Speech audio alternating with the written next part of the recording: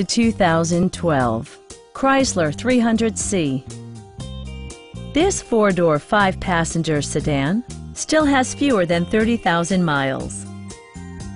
It features an automatic transmission, rear-wheel drive, and a powerful eight-cylinder engine.